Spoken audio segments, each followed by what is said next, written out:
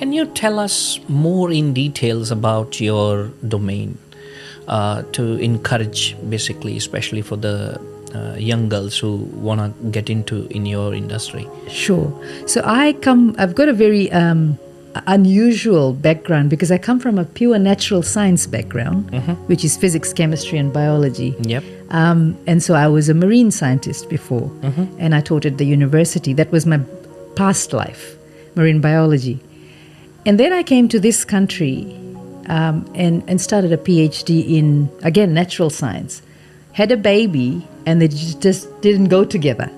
Being in the forest, that's what I used to do 10 kilometers a day, looking out for ant species. Um, but then I, I, I listened to my body, I listened to my family, and I stopped. And I said, if it has to come, it'll come later. And it did come in science education, which is a totally opposite paradigm.